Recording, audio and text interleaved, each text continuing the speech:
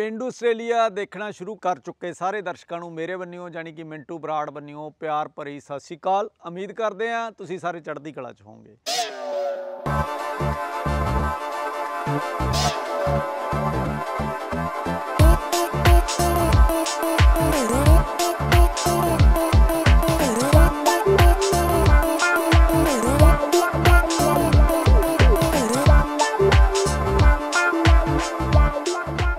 ਜਿਵੇਂ ਕਿ ਤੁਹਾਡੇ ਨਾਲ ਅਕਸਰ ਅਸੀਂ ਵਾਅਦਾ ਕਰਦੇ ਆਂ ਵੀ ਹਰ ਉਹ ਚੀਜ਼ ਅਸੀਂ ਦਿਖਾਉਣ ਦੀ ਕੋਸ਼ਿਸ਼ ਕਰਦੇ ਆਂ ਜੋ ਤੁਹਾਡੇ ਲਈ ਨਵੀਂ ਆ ਜਾਂ ਸਾਰੀ ਦੁਨੀਆ 'ਚ ਜਿੱਥੇ ਜੇ ਹੁੰਦੀ ਆ ਉਹਨਾਂ ਲਈ ਤਾਂ ਉਹ ਖਾਸ ਨਹੀਂ ਹੁੰਦੀ, ਪਰ ਬਾਕੀ ਦੁਨੀਆ ਲਈ ਉਹ ਨਵੀਂ ਹੁੰਦੀ ਆ।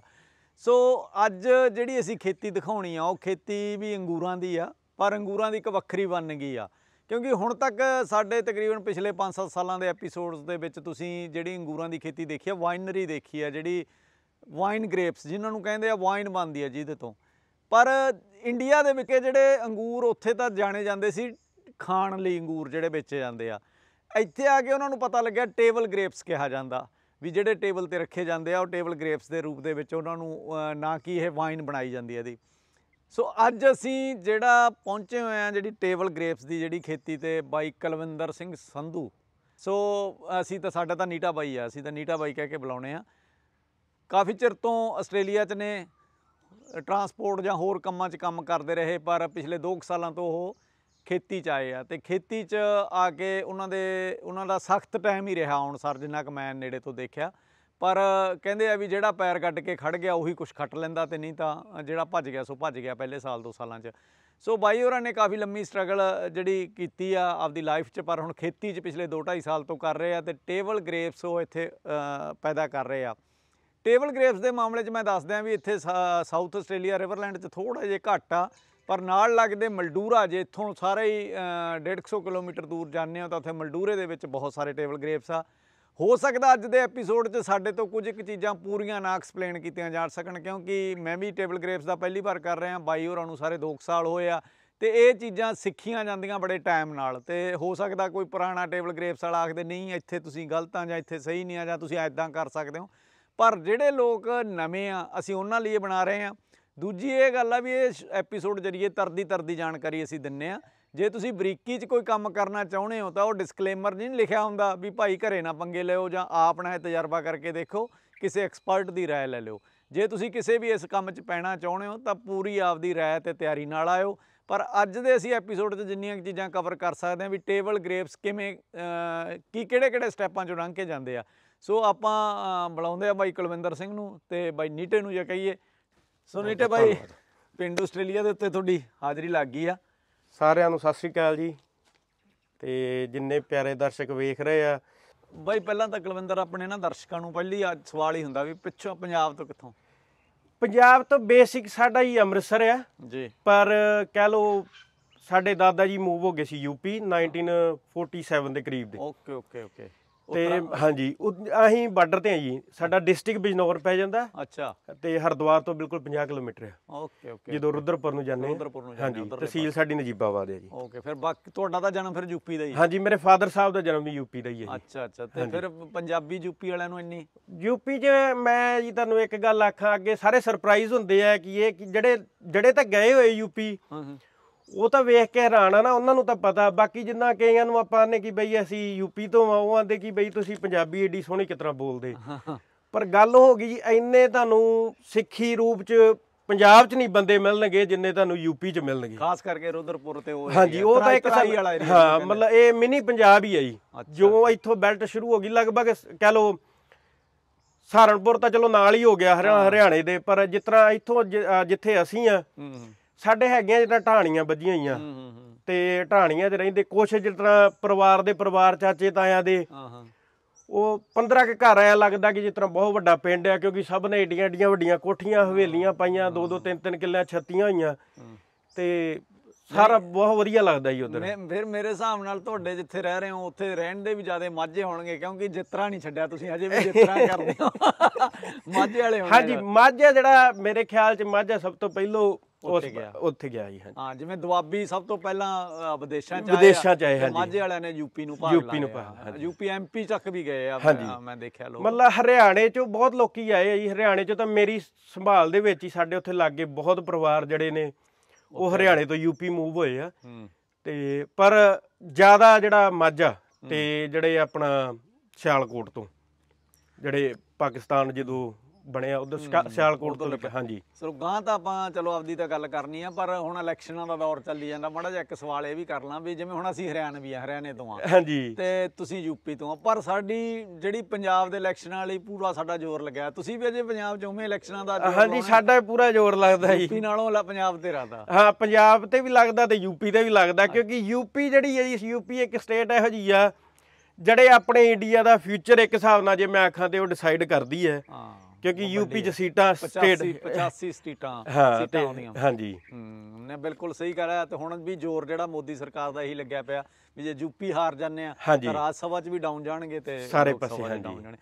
ਸੋ ਮੁੱਦੇ ਤੇ ਆਉਣੇ ਆ ਜੀ ਦੇਖ ਬਈ ਨੀਟੂ ਪਹਿਲਾਂ ਤੁਸੀਂ ਕੰਮ ਕਰਦੇ ਰਹੇ ਮੈਨੂੰ ਟਰੱਕਿੰਗ ਦਾ।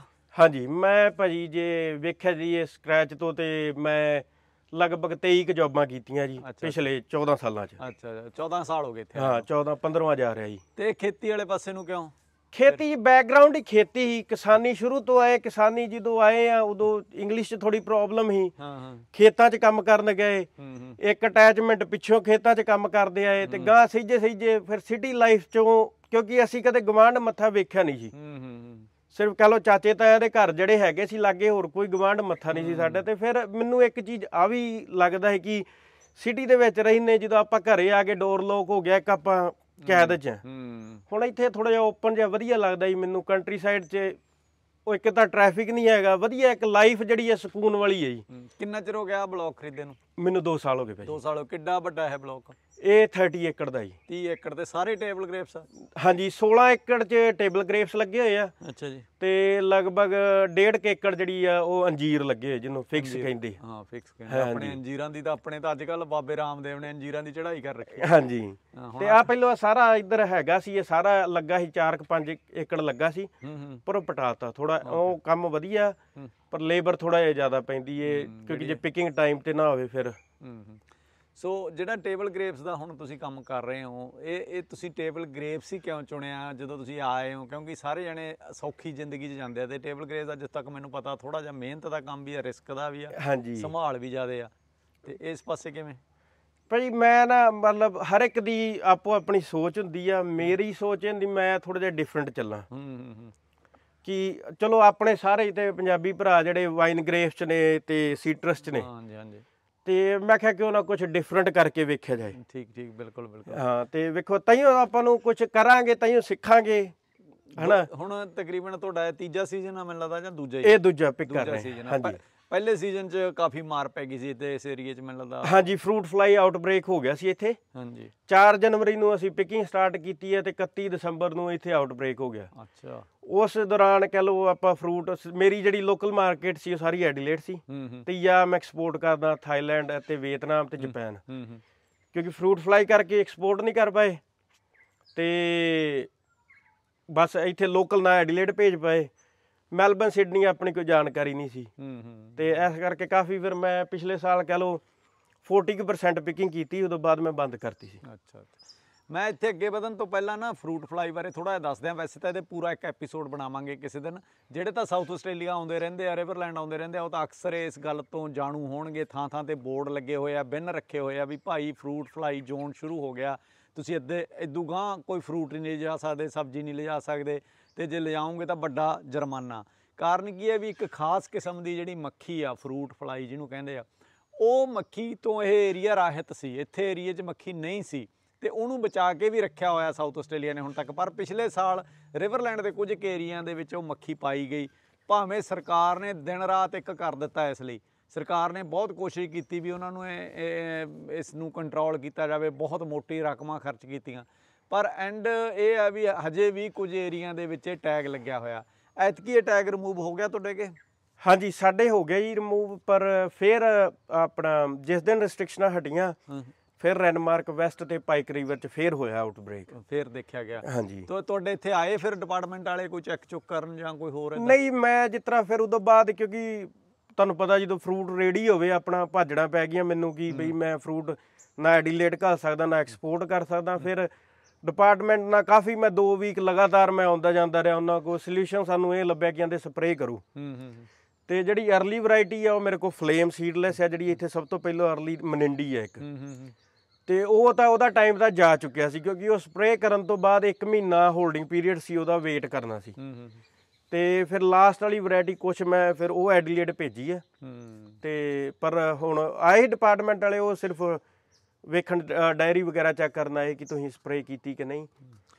ਹੁਣ ਆਪਾਂ ਫਾਰਮ 'ਚ ਵੀ ਦਿੰਨੇ ਆ ਪੈਕਿੰਗ ਸ਼ੈੱਡ ਵੀ ਦੇਖਦੇ ਆ ਪਰ ਉਸ ਤੋਂ ਪਹਿਲਾਂ ਸਾਡੇ ਦਰਸ਼ਕ ਨਾ ਇੱਕ ਸਵਾਲ ਹੋਰ ਪੁੱਛਦੇ ਆ ਵੀ ਬਾਈ ਹੋਰਾਂ ਨੇ ਜੋ 30 ਏਕੜ ਲਈ ਤੇ 30 ਏਕੜ 'ਚ ਘਰ ਵੀ ਵਿੱਚ ਸੀ। ਹਾਂਜੀ ਘਰ ਤੇ ਵਿੱਚ ਤੁਹਾਨੂੰ ਮਸ਼ੀਨਰੀ ਵਗੈਰਾ ਕੋਈ ਪਾਣੀ ਧਾਣੀ ਮਿਲਿਆ ਜਾਂ ਨਹੀਂ? ਨਹੀਂ ਪਾਣੀ ਤਾਂ ਰਾਈਟ ਸੀ ਮਿਲਦੇ ਜੀ ਪਾਣੀ ਤਾਂ ਇੱਥੇ ਕੋਈ। ਹਾਂਜੀ ਪਾਣੀ ਤਾਂ ਕੋਈ ਨਹੀਂ ਦਿੰਦਾ ਪਰ ਬਾਕੀ ਮਸ਼ੀਨਰੀ ਮੈਂ ਵਿੱਚ ਹੀ ਨਾਲ ਜਿਸ ਤਰ੍ਹਾਂ ਉਦੋਂ ਬਾਅਦ ਉਹਦੇ ਨਾਲ ਡੀਲ ਕਰ ਲਈ। ਹਾਂਜੀ ਕਿਉਂਕਿ ਮੈਂ ਹਾਂ ਅੱਗੇ ਤਾਂ ਉਹ ਵੀ ਵਿੱਚ ਛੱਡ ਦਿੰਦੇ ਸੀ ਪਰ ਸਾਡੇ ਲੋਕਾਂ ਨੇ ਸਿਖਾਤਾ ਵੀ ਸਿਖਾਤਾ, ਡੀਲ। ਕਰ ਡੀਲ ਕਰੋ। ਡੀਲ ਕਰੋ ਹਾਂਜੀ। ਪਰ ਐ ਵੀ ਤੁਹਾਨੂੰ ਵੱਜਿਆ ਭਜਾਇਆ ਸੈਟਅਪ ਮਿਲ ਹਾਂਜੀ ਮੈਨੂੰ ਬਸ ਉਹ ਕਹਿ ਲਓ ਵਾਕ ਇਨ ਵਾਕ ਆਊਟ ਵਾਲਾ ਹਿਸਾਬ ਹੀ ਉਹਨੇ ਵਾਕ ਆਊਟ ਕੀਤਾ ਅਸੀਂ ਵਾਕ ਇਨ ਕੀਤਾ।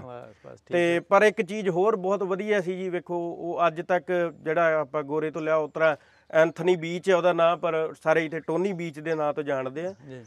ਉਹਨੇ ਨੇ ਉਹਨੇ ਮੇਰੇ ਨਾਲ ਪ੍ਰੋਮਿਸ ਕੀਤਾ ਸੀ ਜਾਂਦਾ ਕਿ ਮੈਂ ਤੇਰੀ ਹੈਲਪ ਕਿਉਂਕਿ ਉਹ ਪਿਛਲੇ 40 ਇਅਰਸ ਤੋਂ ਆ ਕਰ ਰਿਹਾ ਸੀ। ਚਲਾ ਰਿਹਾ ਸੀ। ਹਾਂਜੀ। ਤੇ ਹੁਣ ਉਹਦੀ ਏਜ 70 ਇਅਰਸ ਹੋ ਗਈ ਤੇ ਤਾਂ ਕਰਕੇ ਗਾਂ ਬੱਚੇ ਨੇ ਇੰਟਰਸਟ ਨਹੀਂ ਲਿਆ ਤੇ ਉਹ ਰਿਟਾਇਰ ਹੋਣਾ ਚਾਹੁੰਦਾ ਹੈ। ਪਰ ਉਹ ਮੇਰੀ ਹਾਲੇ ਵੀ ਹੈਲਪ ਕਰਦਾ ਜੀ ਜਦੋਂ ਵੀ ਮੈਨੂੰ ਲੋੜ ਹੁੰਦੀ ਮੈਂ ਅੱਧੀ ਰਾਤ ਫੋਨ ਕਰਾਂ ਉਹ ਜ਼ਰੂਰ ਆਉਂਦਾ ਹੂੰ। ਇਹ ਇੱਥੇ ਹੈਗੀ ਹੈ ਜੀ ਗੱਲ ਜੇ ਤੁਸੀਂ ਕਿਸੇ ਵੀ ਖਾਸ ਕਰਕੇ ਮੈਂ ਇੱਥੇ ਕਿਸੇ ਕਮਿਊਨਿਟੀ ਨੂੰ ਟਾਰਗੇਟ ਨਹੀਂ ਕਰਦਾ ਪਰ ਜੇ ਤੁਸੀਂ ਕਿਸੇ ਇੱਥੋਂ ਦੇ ਆਸਟ੍ਰੇਲੀਅਨ ਤੋਂ ਤੁਸੀਂ ਬਲੌਗ ਖਰੀਦਦੇ ਹੋ ਆਸਟ੍ਰੇਲੀਅਨ ਤਾਂ ਹੁਣ ਅਸੀਂ ਵੀ ਆ ਆਸਟ੍ਰੇਲੀਅਨ ਗ੍ਰੀਕ ਵੀ ਆ ਆਸਟ੍ਰੇਲੀਅਨ ਇਟਾਲੀਅਨ ਵੀ ਆ ਪਰ ਸਾਡੇ ਨਾਲ ਇਟਾਲ- ਇਟਾਲੀਅਨ ਗ੍ਰੀਕ ਇੰਡੀਅਨ ਇਹ ਜੁੜਿਆ ਨਾ ਜਿਹੜਾ ਇਹਨਾਂ ਇਹਨਾਂ ਨੂੰ ਛੱਡਦੇ ਆ ਜਿਵੇਂ। ਹਾਂਜੀ। ਤੇ ਜੇ ਇਕੱਲੇ ਆਸਟ੍ਰੇਲੀਅਨ ਕਹੀਏ ਜਾਂ ਗੋਰੇ ਕਹਿ ਲਈਏ ਸ- ਸਰਲ ਭਾਸ਼ਾ 'ਚ ਹਾਂਜੀ ਤਾਂ ਉਹ ਹਜੇ ਵੀ ਹੈਲਪਫੁਲ ਆ helpful। ਮੈਂ ਮੇਰੇ ਨਾਲ ਵੀ ਇਹ ਵਾਪਰਿਆ ਹਾਂਜੀ। ਵੀ ਜਿਹੜੇ ਬਹੁਤ ਅੱਧੀ ਰਾਤ ਨੂੰ ਉਠਾ ਲਓ ਅੱਧੀ ਰਾਤ ਨੂੰ ਕੋਈ ਹੈਲਪ ਮੰਗ ਲਓ ਉਹ ਤੁਹਾਨੂੰ ਬਿਲਕੁਲ। ਹੈਲਪ ਦਿੰਦੇ ਆ ਪਰ ਇੱਕ ਚੀਜ਼ ਹੋਰ ਹੈ ਜੀ ਮੈਂ ਭਾਈ ਸੌਰੀ ਤੁਹਾਨੂੰ ਰੋਕ ਕੇ ਆਖੂੰ ਪਰ ਇਹ ਨਾ ਵੇਖੋ ਜਦੋਂ ਆਪਾਂ ਕੋਈ ਵੀ ਚੀਜ਼ ਲੈਨੇ ਨਾ ਇਹ ਪਹਿਲੋਂ ਅਗਲੇ ਨੂੰ ਤੁਸੀਂ ਆਖ ਦੋ ਨਾ ਕਿ ਬਈ ਅਸੀਂ ਨਵੇਂ ਆ ਨਵਾਂ। ਮੈਂ ਸਿੱਖਣਾ ਚਾਹੁੰਦਾ ਕਿ ਖੇਤਾਂ ਅੰਗੂਰਾਂ 'ਚ ਕੰਮ ਤਾਂ ਭਾਈ ਸ਼ੁਰੂ ਤੋਂ ਕੀਤਾ ਜੀ ਜੀ ਹਨਾ ਤੇ ਫਾਰਮਿੰਗ ਦਾ ਗਿਆਨ ਵੀ ਹੈਗਾ ਹੈ ਨਾ ਕਿ ਥੋੜਾ ਜਿਹਾ ਚ ਮਤਲਬ ਵਾਈਨ ਗ੍ਰੇਪਸ ਨਾਲੋਂ ਇੱਕ ਕਿਉਂਕਿ ਵੇਖੋ ਇਹ ਚੀਜ਼ ਖਾਣ ਨੂੰ ਹੋ ਗਈ। ਹੂੰ। ਇਹਦੀ ਆਪਾਂ ਨੂੰ ਥੋੜੀ ਕੁਆਲਿਟੀ ਮੇਨਟੇਨ ਕਰਨੀ ਪੈਂਦੀ ਹੈ। ਦਿੱਖ ਵੀ ਕਰਨੀ ਪੈਂਦੀ ਹੈ ਕਿਉਂਕਿ ਅੱਜ ਕੱਲ ਇੱਥੇ ਮਾਰਕੀਟਾਂ 'ਚ ਦਿਖਦਾ ਜਿਹੜਾ ਚੰਗਾ ਉਹੀ ਵਿਕਦਾ। ਵਿਕਦਾ ਬਿਲਕੁਲ ਜੀ। ਜੋ ਦਿਖੂਗਾ ਹੀ ਉਹੀ ਵਿਕੂਗਾ। ਹੂੰ। ਤੇ ਜੇ ਆਪਾਂ ਹੀ ਮਾਰਕੀਟ 'ਚ ਜਾਈਏ ਜੇ ਆਪਾਂ ਨੂੰ ਵਧੀਆ ਬੰਚ ਦਿਖੂਗਾ ਤੇ ਆਪਾਂ ਚੁੱਕਾਂਗੇ। ਜੇ ਆਪਾਂ ਨੂੰ ਖਰਾਬ ਦਿਖੂ ਫਿਰ ਆਪਾਂ ਫੋਲਣ ਸ਼ੁਰੂ ਕਰਾਂਗੇ।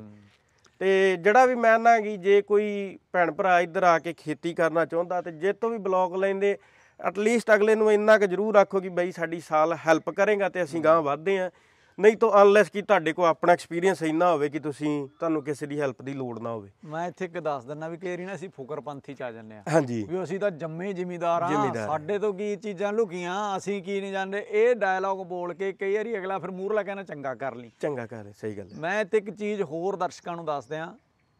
ਕੋਈ ਚੀਜ਼ ਤੁਸੀਂ ਵੇਚੋ ਕੋਈ ਖਰੀਦੋ। ਅਕਸਰ ਜਦੋਂ ਵੇਚ ਵੱਟ ਹੁੰਦੀ ਆ ਤੇ ਰਿਲੇਸ਼ਨ ਖਰਾਬ ਹੁੰਦੇ ਆ। ਹੁੰਦੇ। ਕਿਤੇ ਨਾ ਕਿਤੇ ਬੰਦਾ ਪੂਰਾ ਨਹੀਂ ਉਤਰਦਾ ਚਾਹੇ ਵੇਚਣ ਵਾਲਾ ਚਾਹੇ ਖਰੀਦਣ ਵਾਲਾ। ਬਿਲਕੁਲ ਸੋ ਰਿਲੇਸ਼ਨ ਖਰਾਬ ਹੋ ਕੇ ਨਾ ਤੇ ਫਿਰ ਬੰਦਾ ਕੀ ਕਰਦਾ ਜਿੱਦਣ ਸੌਦਾ ਸਿਰੇ ਲੱਗ ਗਿਆ ਉਦੋਂ ਬਾਅਦ ਗਾਲੋ ਉਦੋਂ ਪੜ ਇੱਕ ਦੂਜੇ ਨੂੰ ਪੁੱਠਾ ਸਿੱਧਾ ਤੇ ਉਹ ਕਰਨਾ ਇਹਨਾਂ ਬਹੁਤ ਵਾਰੀ ਵੇਖਿਆ ਪਰ ਜੀ ਮੈਂ ਇਹ ਚੀਜ਼ ਨੋਟ ਕੀਤੀ ਹੈ ਇਸ ਦੁਨੀਆ ਦੇ ਵਿੱਚ ਇਹ ਦੁਨੀਆ ਬਹੁਤ ਛੋਟੀ ਆ ਤੇ ਗੋਲ ਆ। ਤੁਹਾਨੂੰ ਪਤਾ ਨਹੀਂ ਕਿਹੜੇ ਵੇਲੇ ਕਿਹਦੀ ਲੋੜ ਪੈ ਜੇ। ਕਿਹਦੀ ਲੋੜ ਤੇ ਫਿਰ ਤੁਹਾਨੂੰ ਥੁੱਕ ਕੇ ਚੱਟਣਾ ਬਹੁਤ ਔਖਾ ਹੋ ਜੂਗਾ। ਮੈਂ ਬਹੁਤ ਲੋਕ ਦੇਖਿਆ ਜਿਨ੍ਹਾਂ ਨੇ ਕਹਿਤਾ ਵੀ ਜੋ ਖਰੀਦ ਲਿਆ ਤੇ ਅਗਲੇ ਨੂੰ ਕਹਿ ਜਾ ਤੂੰ ਭੱਜ ਜਾ ਯਾਰ ਹੁਣ ਇੱਥੇ ਬੜੀ ਨਾ ਫਲਾਨਾ ਨਾ ਧਮਕਾ ਤੇ ਦੋ ਦਿਨਾਂ ਬਾਅਦ ਹੀ ਉਹਨੂੰ ਪਤਾ ਲੱਗਿਆ ਵੀ ਫਲਾਣੇ ਥਾਂ ਤੋਂ ਆਹ ਲੀਕੇਜ ਹੋ ਗਿਆ ਹੋ ਹੋ। ਗਿਆ ਤੇ ਹੁਣ ਮੈਂ ਇਹਨੂੰ ਕਿਵੇਂ ਠੀਕ ਕਰਾਂ? ਮੇਰੇ ਕੋਲ ਤਾਂ ਕੋਈ ਪਤਾ ਹੀ ਨਹੀਂ ਹੈ। ਬਿਲਕੁਲ। ਇੱਕ ਬੰਦਾ ਉੱਥੇ 40 ਸਾਲ ਰਹਿ ਕੇ ਗਿਆ ਉਹਨੂੰ ਸਾਰਾ ਪਤਾ। ਸਾਰਾ ਪਤਾ। ਸੋ ਆਪਦੇ ਰਿਸ਼ਤੇ ਖਰਾਬ ਨਾ ਕਰੋ ਚੰਦ ਪੈਸਿਆਂ ਪਿੱਛੇ। ਬਿਲਕੁਲ। ਕਈ ਵਾਰੀ ਚੰਦ ਪੈਸਿਆਂ ਪਿੱਛੇ ਕਰ ਹੋ ਜਾਂਦੀ ਹੈ ਜੀ ਬਿਲਕੁਲ। ਹਾਂ ਰਿਸ਼ਤੇ ਕਦੇ ਨਹੀਂ ਖਰਾਬ ਕਰਨੇ ਚਾਹੀਦੇ। ਪੈਸਾ ਕੋਈ ਚੀਜ਼ ਭਾਜੀ ਨਹੀਂ ਹੈ। ਪੈਸਾ ਤਾਂ ਆਉਣੀ ਜਾਣੀ ਚੀਜ਼ ਹੈ ਜੀ ਵੇਖੋ। ਠੀਕ। ਆ ਉਹ ਮਾਲਕ ਦੇਣ ਵਾਲਾ ਜੀ। ਪੈਸੇ ਜਿਹੜਾ ਵੇਖੋ ਮੇਰੇ ਇੱਕ ਚੀਜ਼ ਹੋ ਰਿਹਾ ਭਾਜੀ। ਲੋਕੀ ਜਾਂਦੇ ਮੈਂ- ਮੈਂ ਪੈਸੇ ਨੂੰ ਚੇਜ਼ ਨਹੀਂ ਕਰਦਾ ਭਾਈ ਜਿਹੜੀ ਸੱਚੀ ਗੱਲ।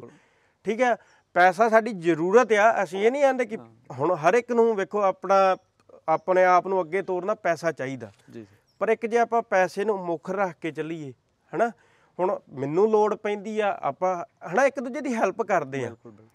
ਤੇ ਜੇ ਆਪਾਂ ਆਖੀਏ ਪੈਸੇ ਪੈਸੇ ਪਿੱਛੇ ਕਦੀ ਵਿਵਹਾਰ ਨਾ ਆਪਣਾ ਖਰਾਬ ਕਰੋ। ਬਿਲਕੁਲ ਬਿਲਕੁਲ। ਸਿੱਧੀ ਜੀ ਗੱਲ ਆ ਜੀ ਮੈਂ ਤਾਂ ਦੋ ਕਹਿੰਦੇ ਨੇ ਦੋ ਹੱਥ ਰੱਸਾ ਸਿਰੇ ਤੇ ਗੰਢ।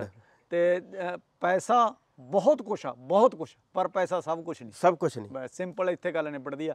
ਸੋ ਆਓ ਆਪਾਂ ਦੇਖਦੇ ਹਾਂ ਬਾਈ ਹੋਰਾਂ ਦਾ ਫਾਰਮ ਤੇ ਨਾਲੇ ਦੇਖਦੇ ਹਾਂ ਕਿਵੇਂ ਤੋੜਦੇ ਆ ਕਿਵੇਂ ਪੈਕਿੰਗ ਹੁੰਦੀ ਆ ਤੇ ਨਾਲੇ ਛੋਟੀਆਂ-ਮੋਟੀਆਂ ਗੱਲਾਂ ਵੀ ਕਰਦੇ ਰਹਾਂਗੇ ਤੇ ਉਮੀਦ ਆ ਤੁਹਾਨੂੰ ਇਹ ਪਸੰਦ ਆਉਣੀਆਂ।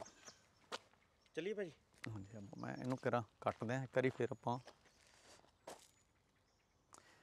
ਇੱਕ ਸੈਕਿੰਡ ਮੈਂ ਤੁਹਾਨੂੰ ਥੋੜੀ ਜੀ ਗੇੜੀ ਲਵਾ ਦਿਆਂ ਬਾਈ ਦੇ ਇੱਧਰ ਦੀ। ਬਾਈ ਦਾ ਕਾਰਪੋਰਟ ਮੈਸਲੀ ਸੌਰੀ ਜੋ ਮੈਂ ਗੱਲਾਂ ਫਸਿਆ ਹੋਇਆ। ਨਹੀਂ ਨਹੀਂ ਨਹੀਂ ਕੋਈ ਚੱਕਰ ਨਹੀਂ। ਇਹ ਬਾਈ ਹੋਰਾਂ ਦਾ ਘਰ ਹੈ ਜੀ ਤੇ ਇੱਧਰ। ਇਹ ਗੋਰੇ ਜਦੋਂ ਰਹਿੰਦੇ ਸੀ ਨਾ ਜਿੱਥੇ ਵੀ ਜਿਹੜੇ ਘਰ 'ਚ ਰਹਿੰਦੇ ਆ ਉਹ ਬੁਸ਼ ਦੇ ਵਿੱਚ ਰਹਿਣਾ ਪਸੰਦ ਕਰਦੇ ਆ ਵੀ ਨੇਚਰ ਦੇ ਕੋਲੇ। ਅਸੀਂ ਹੁੰਨੇ ਆ ਅਸੀਂ ਆ ਕੇ ਪਹਿਲਾਂ ਝਾੜ ਬੁੱਝ ਪੱਟਦੇ ਆ ਤੇ ਆਦੇ ਆ ਵੀ ਸਾਫ਼ ਸਫ਼ਾਈ ਜੀ ਕਰੋ। ਪਰ ਇਹ ਸਾਫ਼ ਸਫ਼ਾਈ ਸਾਨੂੰ ਤਾਂ ਵਧੀਆ ਲੱਗਦੀ ਆ ਪਰ ਇਹ ਗੋਰੇ ਨਹੀਂ ਕਰਨਾ ਚਾਹੁੰਦੇ। ਗੋਰੇ ਜਿੱਥੇ ਰਹਿੰਦੇ ਆ ਉਹ ਦੇਖੋ ਆ ਪੁਰਾਣਾ ਆਖਣਗੇ ਦੇਖੋ ਬਲੜੀ ਇੰਨਾ ਪੁਰਾਣਾ ਟਰੀ ਸਾਡੇ ਕੋਲੇ, ਇੰਨਾ ਪੁਰਾਣਾ ਪਾਮ ਸੋ ਸਾਰੀਆਂ ਚੀਜ਼ਾਂ ਨੂੰ ਉਹ ਉਵੇਂ ਨੇਚਰ ਨੂੰ ਨੇਚਰ ਦੇ ਵਿੱਚ ਹੀ ਰਹਿਣਾ ਪਸੰਦ ਕਰਦੇ ਆ। ਸੋ ਅੱਗੇ ਬਾਈ ਹੋਰਾਂ ਦਾ ਫਾਰਮ ਆ, ਉਹ ਸਾਹਮਣੇ ਦਿਖ ਰਿਹਾ। ਆਪਾਂ ਚੱਲਦੇ ਆ ਤੇ ਦੇਖਦੇ ਆ।